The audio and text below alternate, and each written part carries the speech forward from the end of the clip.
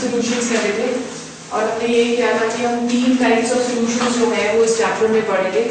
The first is solids and liquids the second is gases and liquids and the third is liquids and liquids ठीक है? So let's go on to the first kind of your solutions that is solids and liquids solids and liquids के examples आपके क्या हुए?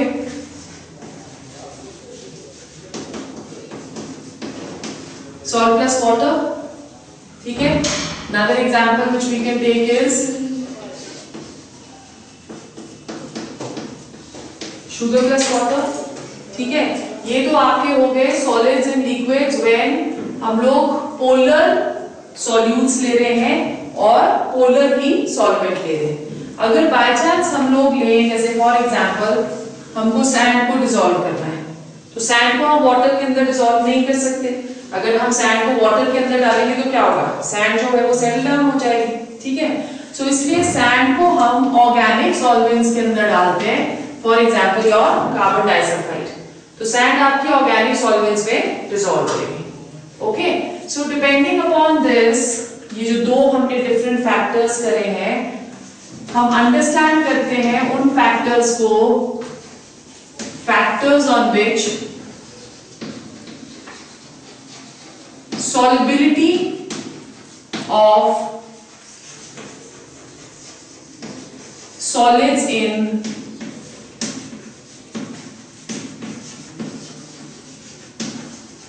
liquid. Before going on to the details of this, before going on to factors, हम यहाँ पे एक नया term पढ़ रहे हैं which is known as your solubility. So let's understand कि हमारी solubility क्या है सॉल्बिलिटी हमारी तब होती है किसी भी एक सॉलिड की एक लिक्विड के अंदर जब वो सॉलिड उस लिक्विड के साथ रिएक्ट करता है। तो so, जब भी कोई सॉलिड किसी लिक्विड के साथ रिएक्ट करेगा उस प्रोसेस को हम क्या बुलाते हैं? That process is known as dissolution ठीक है? That is known as your dissolution और अगर ये सॉलिड आपका जितना डिजोल्व होना है, हो गया, उसके बाद वो लिक्विड के साथ रिएक्ट करना बंद कर दे तो एक डेजोल्यूशन का ऑपोजिट प्रोसेस शुरू हो जाता है which is known as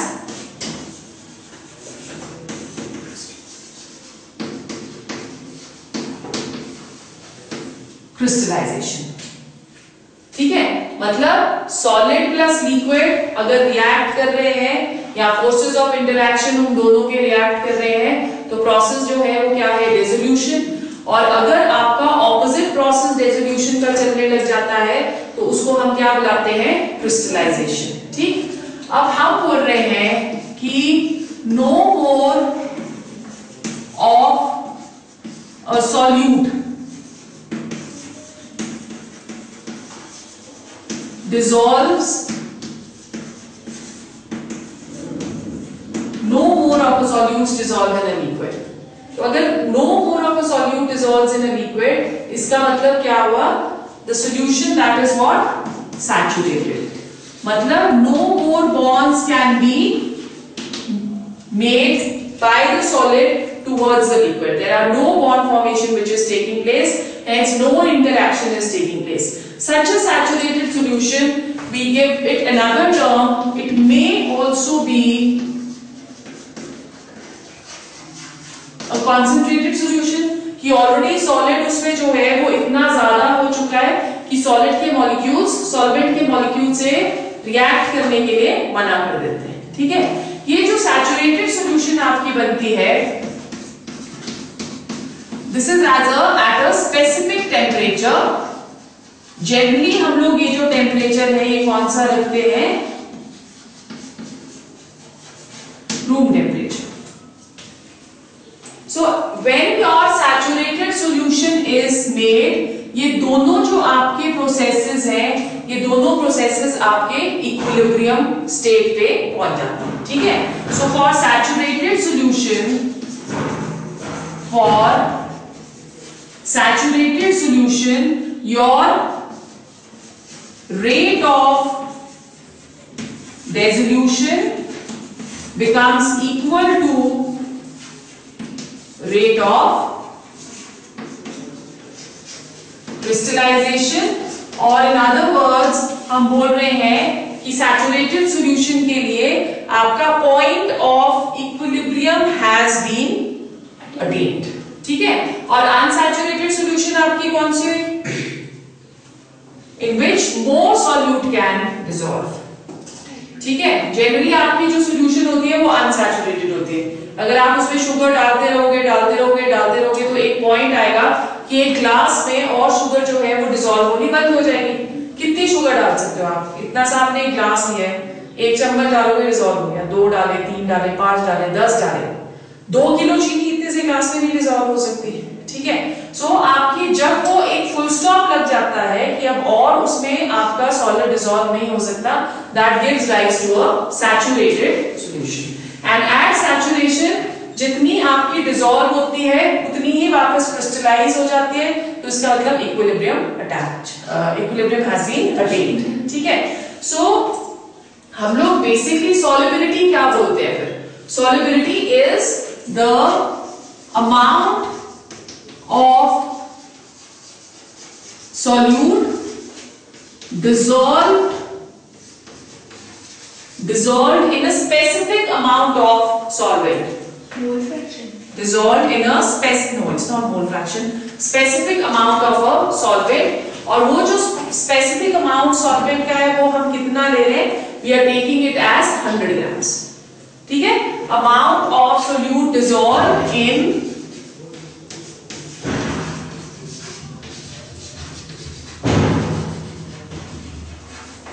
grams of solvent that is what your solubility is ठीक है now depending upon this term solubility अब हम factors जो है अपने वो देखते हैं क्या factors हैं the first factor on which your solubility is depending the first factor that is type of solute and solvent. Type of solute and solvent. हम बोलते हैं कि केमिस्ट्री में एक प्रिंसिपल होता है लाइक डिजॉल्व्स लाइक मतलब जितने भी आपके पोलर सॉल्यूट्स हैं, वो वाटर में डिजॉल्व होंगे।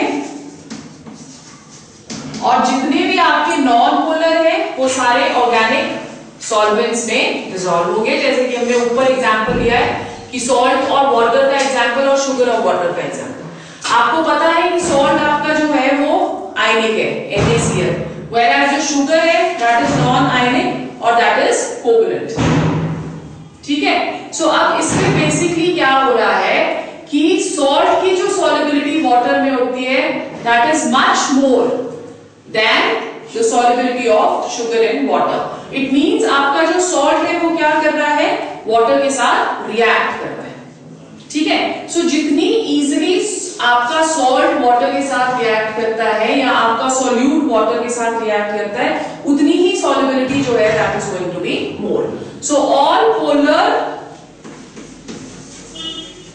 और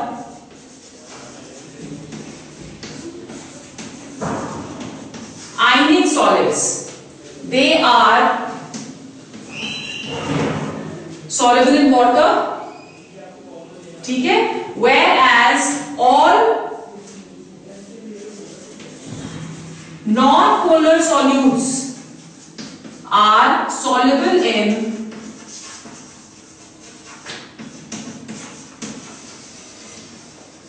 organic solvents ठीक है? सो ये आपका फ़र्स्ट हो गया। ठीक है? हमें पता है कि जब भी कोई रिएक्शन होती है, हमारे पास दो तरह की रिएक्शंस होती है। One is endothermic reaction endothermic reactions के लिए डेल्टा एच इज़ पॉजिटिव या हम बोलते हैं कि एंडोथर्मिक रिएक्शंस जो है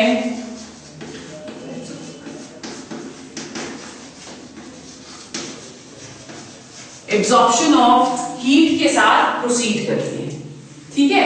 जितने भी आपके सॉल्स हैं या रेजोल्यूशन प्रोसेस है, वो एंडोथर्मिक है तो for all those the solubility increases with increase in temperature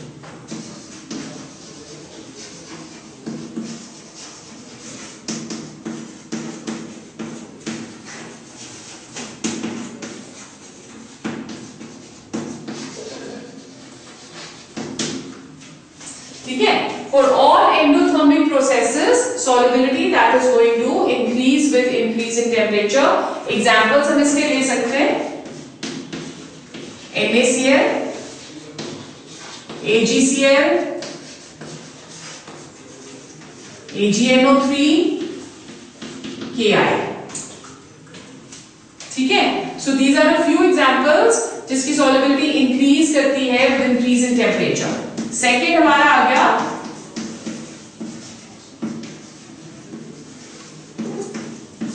exothermic we know that exothermic के लिए delta H that is going to be negative right और these reactions they proceed by evolution of heat heat in this case that is going to be given out for all these processes solubility decreases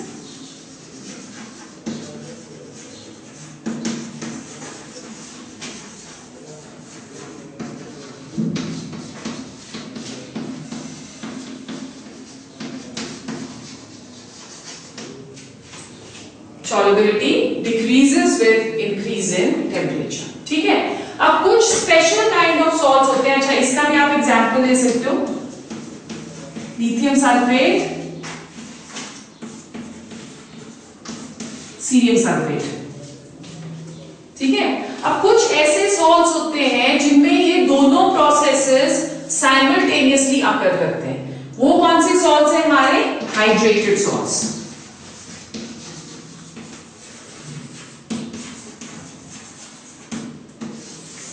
hydrated salts hydrated salts कौन से होते हैं? जिनके पास water of crystallisation होता है?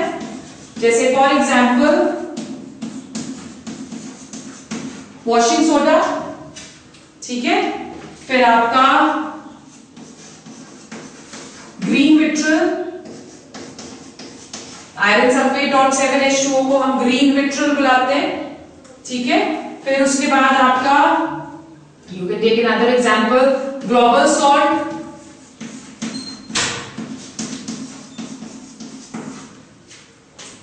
global salt sodium sulphate को हम global salt बुलाते हैं। अब इन दिस केसेस आप देखते हो कि सबके पास वाटर ऑफ़ क्रिस्टलाइजेशन है। इसके पास 10 मॉलिक्यूल्स उसके पास 10 मॉलिक्यूल्स उसके पास 7 मॉलिक्यूल्स अब यहाँ पे जब भी हम इसकी सॉलिबिलिटी करने लगते हैं तो सॉलिबिलिटी में पहले ये वाटर ऑफ़ क्रिस्टलाइजेशन को लूज करेगा। जब तक ये वाटर ऑफ़ क्रिस्टलाइजेशन को लूज करता है, तब तक जो हमारा प्रोसेस है वो एंडोथर्मिक है। तो एंडोथर्मिक प्रोसेसेस के लिए हम लोग क्या बोल रहे हैं? सॉलिबिलिटी जो है वो इंक्रीज हो रही है। तो इसका मतलब जब तक ये वाटर ऑफ़ क्रिस्टलाइजेशन लूज करता है सॉलिबिलिटी इंक्रीज होगी विद इंक्रीज इन टेम्परेचर जैसे ही ये अपना सारा का सारा वाटर ऑफ़ क्रिस्टलाइजेशन लूज करेगा प्रोसेस एक्सोथर्मिक बन जाता है और सॉलिबिलिटी क्या होगी? It will decrease with increase in temperature ठीक है? अब इन दोनों को हम लोग एंडोथर्मिक और एक्सोथर्मिक प्रोसेसेस को हम ग्राफिकली भी शो कर सकते हैं। सो लेट्स सी ग्राफिकली हम इसे किस तरह से रिप्रेजेंट करते हैं? हम दो तरह से कर्व्स बनाते हैं। One which is known as your solubility continuous curves solubility continuous curves endothermic और exothermic दोनों प्रोसेसेस के लिए मतलब इस तरह से हम ग्राफिकली इसको शो करते हैं we are going to take the temperature over here and the solubility over here ठीक है? सो पहले एंडोथर्मिक प्रोसेसेस के लिए हम क्या कह रहे हैं? कि solubility increases with increase in temperature जैसे for example this is the graph for AgNO3 this is the graph for K I तो सॉलिबिलिटी आपकी क्या हो रही है? Increasing with increase in temperature तो आप यहाँ पे देखो अगर कि लो टेम्परेचर्स में भी इनकी सॉलिबिलिटी ऑलरेडी काफ़ी हाई है। है ना? सो अगर लो टेम्परेचर्स पे इसकी सॉलिबिलिटी काफ़ी हाई है सपोज़ हम लोग यहाँ पे ज़ीरो डिग्री ले रहे हैं तो मतलब इसका क्या हुआ? कि ये बहुत ज़्यादा आयनिक है। ये इजिली अपने आयंस में डिसोसिएट हो जाते हैं even at low temperatures that is why उनकी सॉलिबिलिटी जो है that is going to be high ठीक है? उसके बाद आपका आता है NaNO3 slightly curved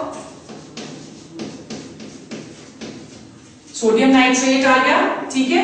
sodium nitrate के बाद आता है आपका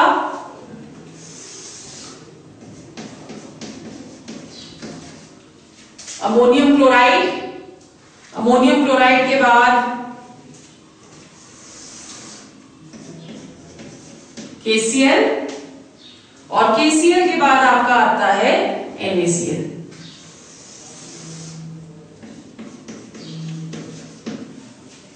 this is your NaCl ठीक है? अब एक्सोथर्मिक प्रोसेसेस के लिए क्या होगा? Solubility is going to decrease with increase in temperature तो लिथियम सल्फेट की सॉलिबिलिटी डिक्रीज हो रही है।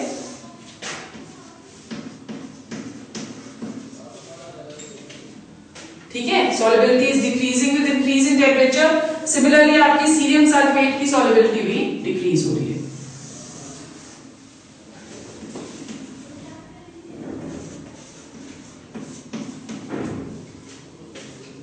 ठीक है सो so, आपकी ये वाले कर्व्स इनको हम कंटिन्यूस कर्व्स क्यों बुलाते हैं क्योंकि यहाँ पे कहीं भी कोई डिप्रेशन नहीं है, कहीं पे भी कोई माउंटेन्स नहीं है तो इसलिए they are following one smooth line that is why they are known as continuous curves but in the case of hydrated salts आपके डिसकंटिन्यूस कर्व्स आते हैं. वाई बिकॉज़ पहले हम बोल रहे हैं कि सॉलिबिलिटी आपकी इंक्रीज करती है, फिर उसके बाद सॉलिबिलिटी डिक्रीज करती है तो दे फॉर्म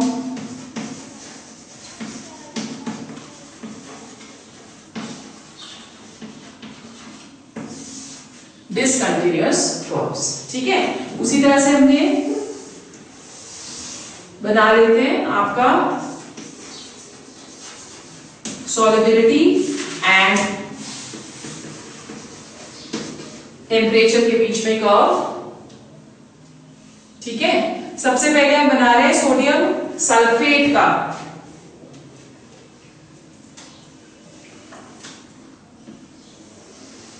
तो आप देख लो कि इसमें एक माउंटेन बन रहा है। इस माउंटेन से इस साइड आपका हाइड्रेटेड सॉल्ट है। और इस साइड आपका एनहाइड्रस जब वो वाटर ऑफ़ क्रिस्टलाइजेशन लूज करता है तो उसे हम क्या बुलाते हैं? एनहाइड्रस तो जब तक ये हाइड्रेटेड है, आपकी सॉलिबिलिटी इंक्रीज हो रही है, और जैसे ही ये एनहाइड्रस हो जाता है सॉलिबिलिटी डिक्रीज होने लग जाती है। तो ये पहले आपका एंडोथर्मिक प्रोसेस हो गया, फिर आपका एक्सोथर्मिक प्रोसेस हो गया। जहाँ पे ये अपना पूरा वाटर ऑफ़ क्रिस्टलाइजेशन लूज करता है, ये वाला temperature this is 32.8 degree Celsius इसको हम क्या बुलाते हैं? This is known as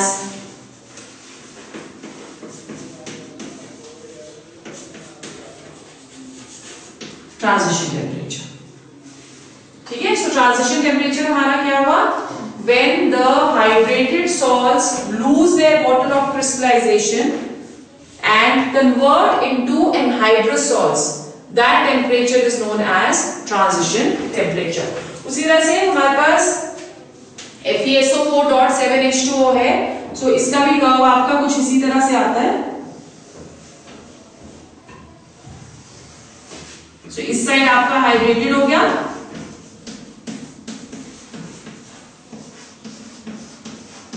इस साइड एनहाइड्रस हो गया।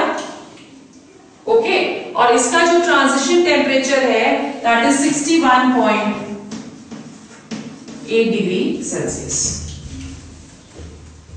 clear so this is your continuous curves and discontinuous curves and the effect of temperature effect of pressure. solubility of solids on liquids is negligible. ठीक है? Why this happens? This happens because this happens because both the solids and liquids are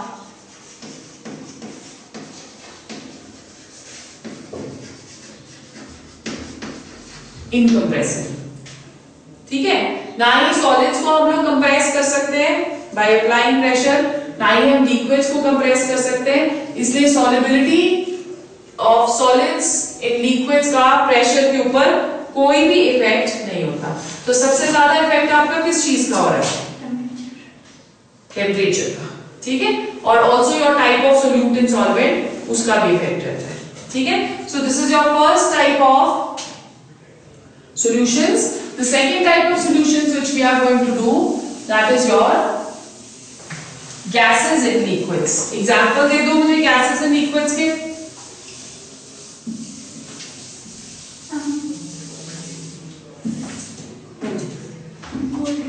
cold drinks में carbon dioxide very good so second हमारा जो हुआ that is going to be और और example दे सकते हैं वाटर में ऑक्सीजन ऑक्सीजन डिजोल्व है ना वाटर में एक्वेटिक एक्वेटिक प्लांट्स और एनिमल्स हैं, वो उसी को ब्रीथ करते हैं जो ऑक्सीजन आपकी डिजोल्व है। So that is another example ठीक है? सो गैसेस इन लिक्विड्स का हमने दो एग्जांपल्स दिए। One is oxygen dissolve in water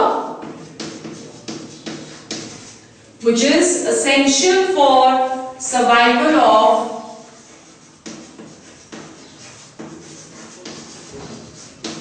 aquatic life. Aquatic life हमारी क्या हुई the plants and animals जो कि सी और ओशंस और रिवर्स में रहते हैं। तो उनको ऑक्सीजन चाहिए ब्रीथ करने के लिए। That is always dissolve in water ठीक है? और अनदर हमने एग्जांपल ले लिया।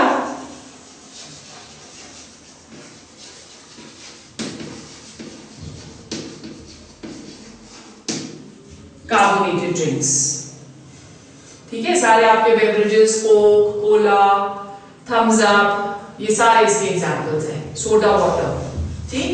So let's look at the factors factors on which solubility of gases and solids depend. Sorry, gases and liquids depend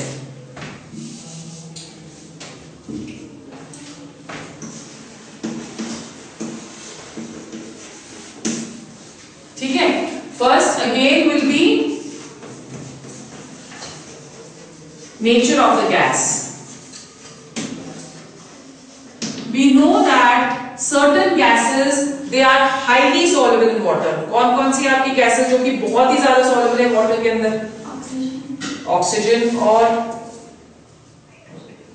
nitrogen और नाइट्रोजन लो प्रेशर पे नहीं होती है. लो प्रेशर पे नहीं होती है नाइट्रोजन हाई प्रेशर पे होती है. कार्बन डाइऑक्साइड और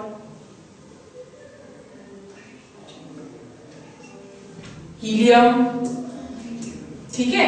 सो सारे जितने भी आप, हीलियम भी आपकी जो है, बहुत कम सॉलेबल है, बहुत ज़्यादा सॉलेबल नहीं है। जो बहुत ही ज़्यादा सॉलेबल आपके गैसेस हैं that is at normal conditions and of temperature that is your carbon dioxide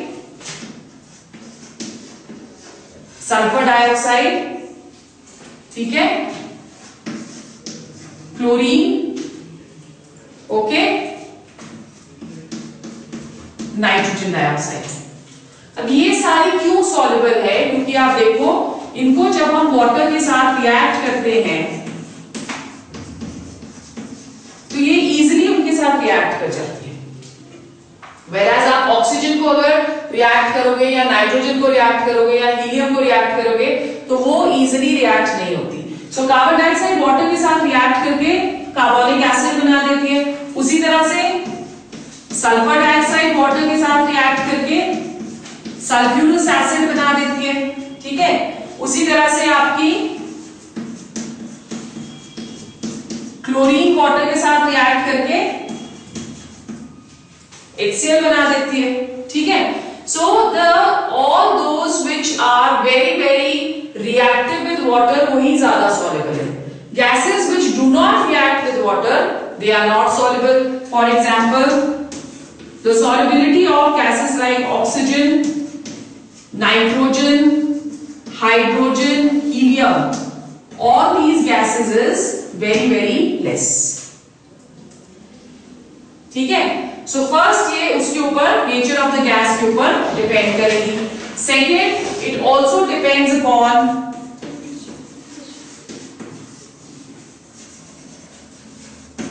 temperature we say that the process of dissolution of gases in liquids is exothermic. ठीक है? सो अगर वो प्रोसेस एक्सोथर्मिक होगा तो पिछले topic में हमने क्या पढ़ा? Solubility will decrease with increase in temperature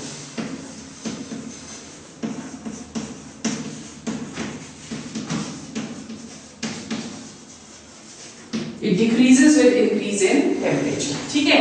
अब अगर वो सॉलिबिलिटी डिक्रीज कर रही है तो इसका एक और रीजन हम क्या दे सकते हैं? एक्सोथर्मिक प्रोसेस तो ठीक है। और रीजन हम क्या दे सकते हैं कि जब हम टेम्परेचर इंक्रीज करते हैं तो काइनेटिक एनर्जी जो है मॉलिक्यूल्स की वो बहुत ज़्यादा इंक्रीज हो जाएगी। और अगर काइनेटिक एनर्जी आपकी बहुत इंक्रीज होती है तो गैसेस जो है वो लिक्विड में से बाहर निकलने लग जाते हैं because they attain a lot of energy to leave the liquid ठीक है? सो एक हम उसका रीजन ये भी दे सकते हैं। थर्ड जिसके ऊपर सॉलिबिलिटी डिपेंड करती है is a very very important reason or factor, which is pressure. ठीक है? Pressure gases are very highly compressible okay तो होता क्या है कि अगर सपोज़ हम लोग, हमने ये एक बीकर लिया क्लोज्ड एरिया है, ठीक है? इसके इस पे हमने एक पिस्टन लगा दिया ऊपर से। We are taking water in this ठीक है? और हमने कोई भी एक गैस डिसॉल्व करी। तो ये हम उस गैस के मॉलिक्यूल्स इस तरह से रिप्रेजेंट कर देते हैं। ठीक? अब हम प्रेशर इसके ऊपर कैसे अप्लाई कर सकते सकते हैं। हम प्रेशर अप्लाई कर सकते हैं बाय पुशिंग द पिस्टन तो जब हम इस पिस्टन को पुश करेंगे तो क्या होगा? मॉलिक्यूल्स एक दूसरे के पास आ जाएँगे। जैसे ये हमने पिस्टन को पुश कर दिया। Molecules of the gases they will come closer as a result of which they will start interacting with the molecules of the liquid और वो रिएक्ट करना शुरू कर देते हैं। जब वो रिएक्ट करेंगे तो आपकी सॉलिबिलिटी इंक्रीज हो जाएगी। वही हमने फ़र्स्ट वाले इसमें पढ़ा है फैक्टर में। ठीक है? सो बाय अप्लाइंग प्रेशर हम क्या बोल रहे हैं कि हम सॉलिबिलिटी को इंक्रीज कर सकते हैं। और इसको एक साइंटिस्ट था जिसने इसके लिए एक लॉ दिया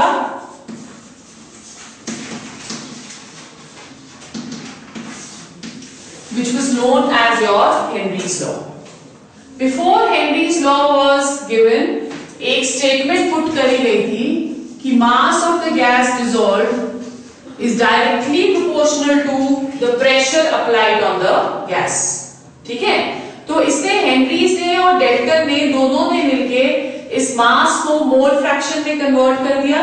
ठीक है? सो उन्होंने एक और स्टेटमेंट दे दी कि mole fraction of the gas is directly proportional to the pressure ठीक है where x is going to be the mole fraction and p is equal to the pressure of the gas or your x is equal to k dash into p where k dash is the constant of proportionality k dash को हम नीचे ले आते हैं तो ये relation हमारा ऐसे बन जाएगा one upon K dash into mole fraction is equal to pressure ठीक है? अब वन अपॉन के डैश आपका क्या हुआ? That is known as K H where your K H is equal to one upon K dash ठीक है? सो के H यहाँ पे क्या है? K H is known as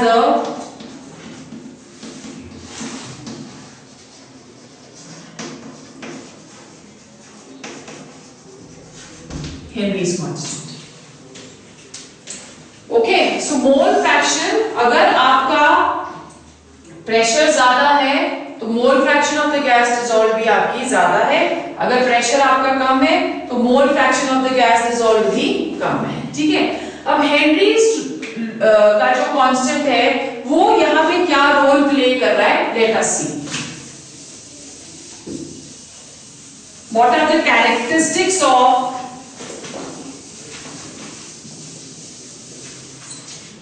characteristics of Henry's constant. The first characteristic of Henry's constant is that KH for all gases is different. KH for different gases have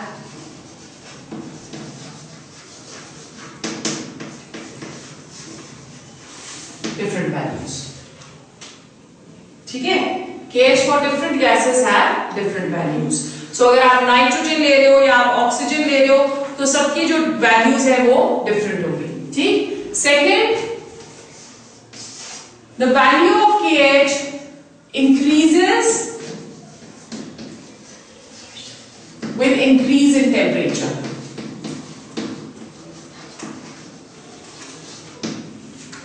ठीक है तो आपकी जो के एच की वैल्यू है, वो इंक्रीज जाती है for increase in temperature for example अगर हम नाइट्रोजन की वैल्यू लिखते हैं के एच की at two hundred and 293 kelvin it is 76.48 ठीक है वेराज अगर हम नाइट्रोजन की 298 पे लेते हैं तो then it has a different value of 84.48 और अगर हम यही N2 की वैल्यू 303 केल्विन पे लेते हैं तो इट्स फर्दर इंक्रीजेस टू 88.84 ठीक है सो so, आप देख रहे हो कि टेम्परेचर इंक्रीज हो रहा है तो वैल्यू भी केएच की इंक्रीज हो रही है ठीक third characteristic if KH is higher solubility of the gas is going to be less ठीक है for higher K H why because अगर आप यहाँ पे आ जाओ K H into X is equal to P तो एक्स आपका क्या आ जाएगा?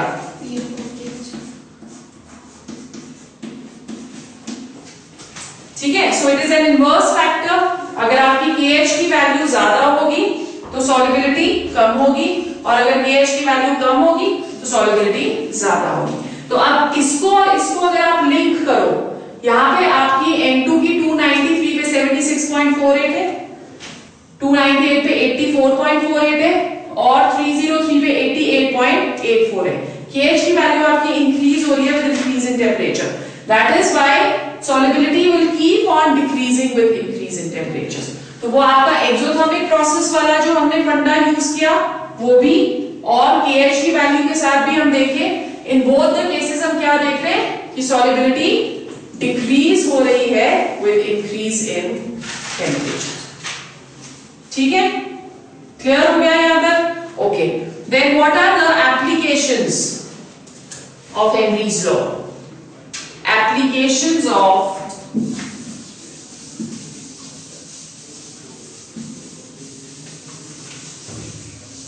Henry's law. एक तो हमने ऑलरेडी कर दिया।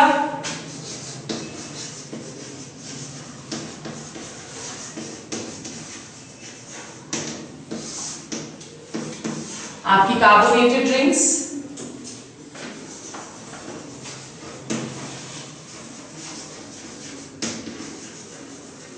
कार्बोनेटेड ड्रिंक्स में हमें पता है कि हम कार्बन डाइऑक्साइड को इन मतलब अंडर हेवी प्रेशर या अंडर लार्ज प्रेशर या मोर प्रेशर हम उसको डिजोल्व करते हैं इन ड्रिंक्स ठीक है? सो so, आपने देखा क्या है कि जब आप सोडे की बोतल खोलते हो तो उस वक्त क्या होता है? फिस निकलती है बाहर, वो फिस क्या है? आपने प्रेशर रिलीज़ किया। जब आप प्रेशर रिलीज़ करते हो तो उसमें से एकदम से कार्बन डाइऑक्साइड जो है वो गश आउट करती है। तो वो जो फिस है, वो कार्बन डाइऑक्साइड है, जो कि उसमें से निकल रही है। आपने एक बॉटल खोल दी यूज़ कर ली, ठीक है? थोड़ी सी उसमें बच गई। तो आप पाँच छह सात दिन रख के अगर उसको भूल जाओगे तो क्या होगा? फ्लैट हो जाएगी। फ्लैट ही होते ना फ्लैट ही वर्ड यूज़ करते हैं कि तो फ्लैट होगी। फ्लैट का मतलब क्या हुआ कि उसमें से सारी कार्बन डाइऑक्साइड निकल चुकी है।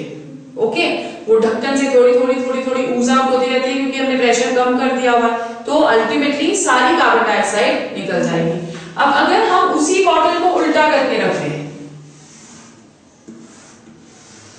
फिर क्या होगा? फिर वैसे क्यों रहेगी? प्रेशर तो मतलब नहीं जा रहा उससे। प्रेशर तो जा रहा है। मतलब गैस नहीं जा रही गैस उससे क्यों नहीं जाएगी? प्रेशर तो आपने इसका कम कर दिया ही है ना ऑलरेडी आप इसको खोल चुके हो। लिड को आपने थोड़ा सा खोल दिया है। आपको पता है कि जो गैसेस हैं दे आर लाइटर गैस तो गैस जो आपकी है वो ऊपर की तरफ़ को चली जाएगी। जब वो ऊपर की तरफ़ को जाएगी तो यहाँ से तो उसको एस्केप करने के लिए कहीं पे भी जगह नहीं है। एस्केप तो वो यहीं से कर सकती है ना जहाँ से उसको आउटलेट मिल रहा है। वो इस साइड को फ्लो ही नहीं होती वो उल्टी साइड को फ्लो हो जाती है। तो इसलिए जब भी आपने सोडा बॉटल्स या कोक वगैरह यूज़ करनी है और उसमें थोड़ी सी आपकी रह जाती है तो उसको सेव करने के लिए आप रेफ्रिजरेटर में उसको उल्टा करके रखो, उसकी शेल्फ वैल्यू थोड़ी सी ज़्यादा बढ़ जाएगी।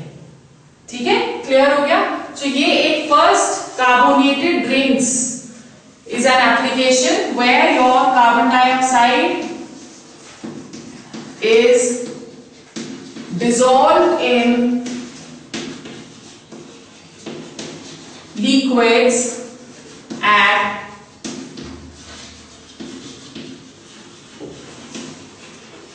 high pressure. ठीक है?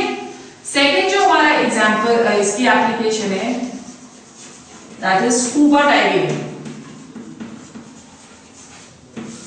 scuba diving scuba diving क्या होती है कि जितने भी क्या कहते हैं उसको there are many sea divers जो अंडर द ओशन डाइव करते हैं, किस लिए डाइव करते हैं? कुछ लोग as an adventure dive dive करते हैं, पर कुछ लोग जो ओशन के अंदर जितनी भी क्वेटिक प्लांट्स और एनिमल्स हैं, उनको स्टडी करने के लिए वो अंडर द सी डाइव करते हैं, ठीक है? आपने देखा होगा मूवीज़ वगैरह में कि उन्होंने पीछे ऑक्सीजन सिलेंडर्स कैरी करे होते हैं। वो जो ऑक्सीजन सिलेंडर्स हैं, उसमें दो गैसेस रहती है one is your nitrogen and the other one is oxygen ठीक है? अब कोई भी डाइवर अगर अंडर द सी जाएगा तो प्रेशर ज़्यादा हो जाएगा। प्रेशर ज़्यादा होगा तो नाइट्रोजन जो है हमारे ब्लड के अंदर और हमारे बॉडी फ्लूइड्स के अंदर ज़्यादा डिसॉल्व होता है एज कंपेयर टू ऑक्सीजन ठीक है? सो नाइट्रोजन हमारी बॉडी के अंदर फटाफट से डिसॉल्व होने लग जाएगा। ओके जब वो सी डाइवर्स बाहर निकलते हैं आउट ऑफ़ द सी निकलेंगे तो क्या होगा? प्रेशर कम हो गया। नाइट्रोजन गश आउट करेगा बॉडी के अंदर से। जब वो नाइट्रोजन गश आउट करता है बहुत ही फोर्स के साथ तो वो कैपिलरीज के अंदर छोटे छोटे बबल्स बना लेता है। ठीक है? तो वो जो छोटे छोटे वो बबल्स बनाता है, वो कैपिलरी वो जो बबल्स बनते हैं, उनको हम एक स्पेसिफिक नेम देते हैं। They are known as bends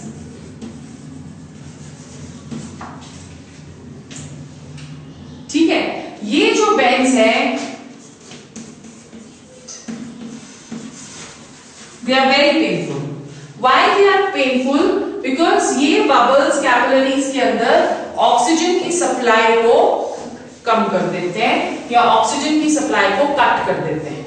ठीक? समटाइम्स ये जो आपके बबल्स होते हैं या बेंस होते हैं ये इतने ज़्यादा हो जाते हैं कि ऑक्सीजन की सप्लाई को बिल्कुल खत्म कर देते हैं विच मे बी फेटल और डाइवर जो है वो मर भी सकता है। ठीक? सो so, अब क्या करने लग गए हैं कि नाइट्रोजन और ऑक्सीजन के साथ थोड़ा सा हीलियम भी डालते हैं जिसकी सॉलिबिलिटी कम होती है। राइट सो हीलियम आपका लेते हैं मिक्सचर जो आपका होता है helium is approximately 11.7 percent. Nitrogen आपका 56.2 परसेंट।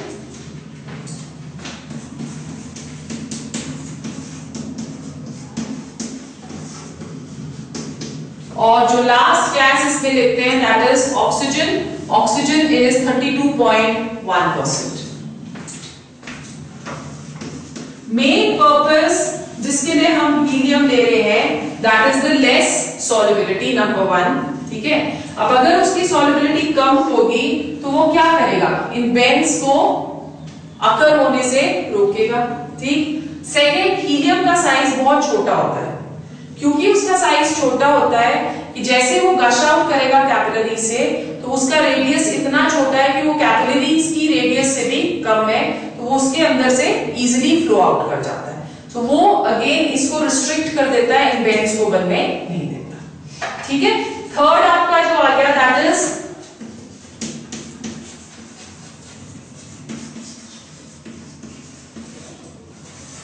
माउंटेनियरिंग के लिए जाते हैं लोग। हाई एल्टीट्यूड्स हाई एल्टीट्यूड्स में क्या होगा? The pressure is going to be more और less it is less so pressure high altitudes पे आपका कम रहता है। उसकी वजह से ऑक्सीजन की जो सप्लाई है हमारी बॉडी के अंदर कम हो जाती है। तो अगर ऑक्सीजन की सप्लाई बॉडी के अंदर कम हो जाएगी तो हम लोग नॉजिया फील करने लग जाते हैं वॉमिटिंग्स आने लग जाती है, या चक्कर आने लग जाते हैं। और उसको स्टेट को हम क्या बुलाते हैं? It is known as anoxia so anoxia में हमारी बॉडी के अंदर ऑक्सीजन की सप्लाई कम हो जाती है। ब्रेन जो है इम्पल्सिस uh, को बॉडी की तरफ़ को नहीं भेज पाता। थिंकिंग पावर हमारी काफ़ी कम हो जाती है। And that turns fatal again ठीक है? लास्ट जो इसका एक आपका वो है in the function of lungs fourth application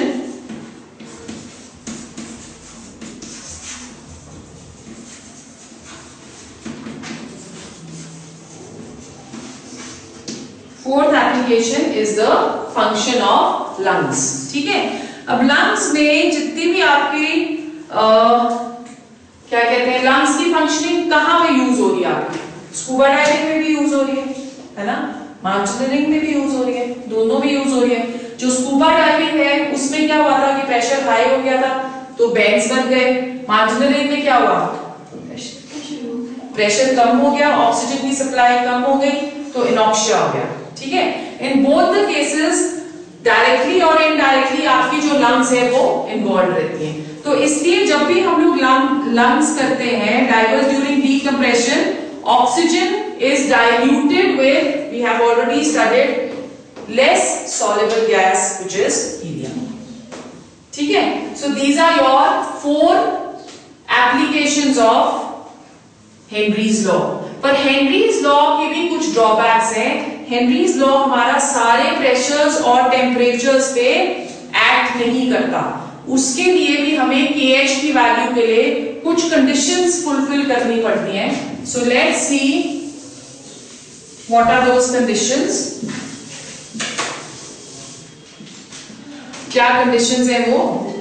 Limitations of Henry's law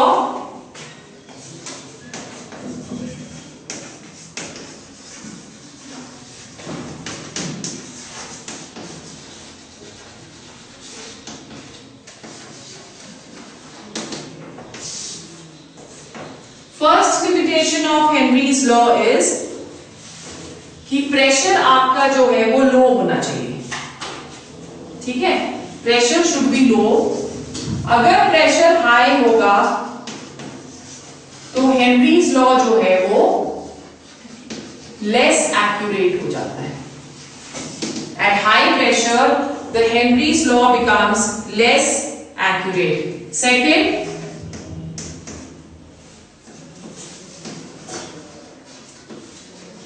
Temperature should not be very low.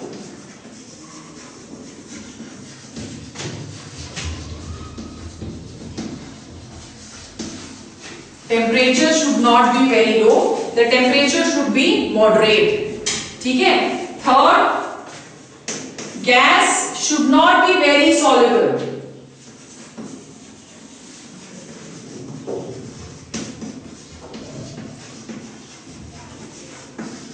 अगर बहुत ज़्यादा सोलेबल होगी तो वो रिएक्ट करने लग जाएगी बहुत ज़्यादा लिक्विड के साथ। ठीक है?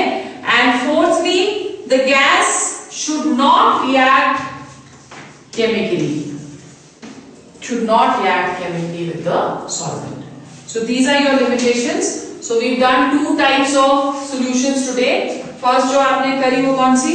सॉलिड्स एंड लिक्विड किस किस के ऊपर डिपेंड करती है वो? Number one nature of the solute and the solvent. Number two temperature temperature के ऊपर एंडोथर्मिक के लिए solubility increases with increase in temperature. Exothermic के लिए solubility decreases with increase in temperature. और हाइड्रेटेड सॉल्ट्स के लिए पहले increases एंड देन डिक्रीजेस ठीक है फिर थर्ड हमने क्या किया प्रेशर का कोई भी ज़्यादा इफ़ेक्ट उसके ऊपर नहीं होता है ठीक है the second type of solutions we did was gases and liquids again वो किसके ऊपर डिपेंड करेंगे? नेचर ऑफ़ द गैस के ऊपर? सेकंड टेम्परेचर के ऊपर? एक्सोथर्मिक प्रोसेस है, इसलिए सॉलिबिलिटी डिक्रीज होगी। और थर्ड प्रेशर के ऊपर? और प्रेशर के ऊपर कौन गवर्न कर रहा है उसको? हेनरीज लॉ ठीक है? अब हेनरीज लॉ के कुछ न्यूमेरिकल्स हैं जो कि हमने करने that we will do in our next class okay